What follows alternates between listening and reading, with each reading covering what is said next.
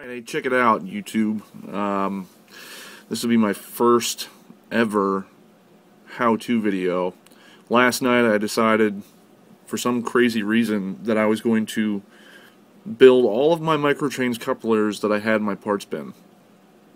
The reason being was because they, I wanted to know how many I had, and I wanted to make sure that I didn't have to do it later on um, and waste time when I'm working on a project. Uh, the reason, and one of the reasons why I put it off for so long is because they're such a pain in the butt. And I know everybody hates putting these things together. Well, I'm I'm the same way. But last night when I sat down, I actually figured out a pretty fast way to put together the Microtrains 1015 couplers. Um, I'm not sure if they're even called 1015s anymore. I think they're something else but this is the 1015 coupler blocks, the regular length, and then the long length here. Uh, they're cheaper, they're a lot cheaper when you buy them unassembled, um, but they're pain in the butt to put together. But I found a way, so fear not. Okay, obviously you're going to need to remove all this, the coupler parts from the sprues, and I just have them set up in pairs so that I know how many I had. Um, and you're going to have to open up the little pill things, little pill capsules and get your trip pins together, your double aught 90 screws together over here on the right, them over here, and your devilish little microtrains coupler springs. Okay, now I don't, obviously I don't have enough all here, they're off to the side, you can't see them. You're going to need some tools. Uh, you can see in my hand, I've got an X-Acto knife with a number 11 blade. It doesn't have to be sharp, okay? Does not have to be sharp, just needs to have just need to have the blade. And I'll show you what I do with that in a minute. You're going to need these guys. I don't remember where I got them. They might have been, I might have got them at Hobby Town or something. Um, Squadron Tools, I believe they were. Uh, they're tweezers, but they're like locking clamp tweezers. I use these things for a lot of things now. Um, I'm not as deft as I used to be with my fingers, and my fingers are pretty fat. Look at that. So, need those. You're going to need one of your screwdrivers. If you're a model railroader and you don't have these screwdrivers, you're wrong. Okay? They're pretty cheap and you need them for a lot of things. So flat bladed screwdriver to once you're done assembling the coupler, you have to put the screw in, the double aught 90 screw, and you also use them, I use them to help put the spring in. You'll see that in a second. You need a block of wood. This is a sanding stick that I made. A block of wood, block of styrene. Uh, this is, I don't know, 3 eighths by a quarter, maybe? Or half by 3 sixths. It doesn't matter. Just a block of wood. Uh, I make my own sanding sticks uh, to save a lot of money. It's just sandpaper glued to a block of wood with white glue or carpenter's glue and then the peels it off, and that's another story. You need needle nose pliers. These are, uh, there's nothing really special about them. I mean, while they're special to me, they were my dad's. Um, they're real old. The inside's filed smooth, and then there's a little notch. I don't know if you can see it. I can't see what I'm doing here. Right there, there's a little notch that I use. There you go, you can see it. To bend wire, okay? The other thing and the key to this whole trick is I build a lot of things on glass. This is just glass um, out of a picture frame. It doesn't have to be on glass to do this, but you do need blue painter's tape. Okay, I use this stuff for everything. I love it. It's low tack. Uh, it's easy to remove things. So why don't we get set up and I'll show you how it's done. Okay. So the very first thing you got to do is install these trip pins, and this is the problem. This is the part of the assembly that I've always had the hardest time with. Um, it, I bend them. I, you know, they slip and stab me in the finger. Every kind of problem that you can ever come up with. Well, I finally figured out that I'm trying too hard, and it's actually a lot easier. So needle nose pliers, take the trip pin, okay? You take your the knuckle side of the coupler and make sure that the bottom of it is facing up so it lays relatively flat. Okay, now it's going to be kind of hard to see, but without holding on to this thing, basically all you're going to do is drive the pin in straight down and you'll see the coupler twist a little bit. Boom. Done. How easy is that?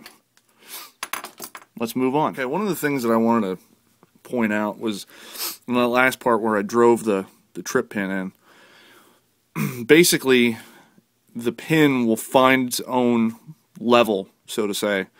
Instead of trying to line up the tiny little rectangle with the offset tiny little rectangle hole, if you just drive it in, and as long as you're not on a sticky surface, if you're on a semi-smooth surface like your workbench or your cutting mat, what happens is is it the pin forces the rectangle hole to fit the pin, not the other way around. That's the way I, I've always tried to do it was try to get the pin to fit the hole, and what you're trying to actually do is get the hole to fit the pin.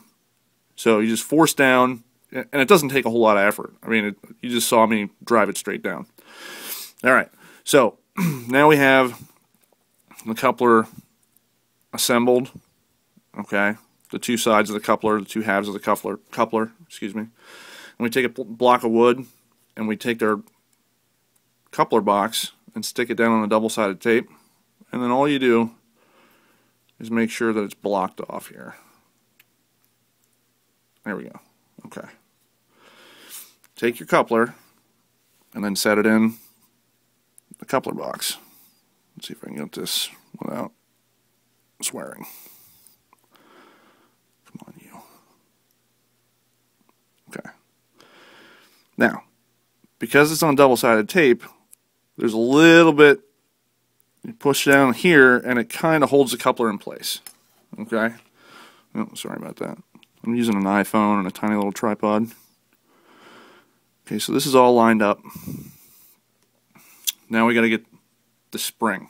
Let me reset. Let me set the camera People have the problem with getting the spring. So if you just use a number 11 blade and you come on the far left hand side as you're looking at it and you just press down it picks the spring up okay now the reason I do that is when I flip it over you'll see and I'll reset the camera up but I'll be able to slide that in and then pull the slide out or the the knife out and what it'll do is it'll leave it in the where it's supposed to be now you might need and I'll show you I usually use the screwdriver as well to hold the spring in place but using the tape gives you an extra set of hands is basically all, why I use the tape.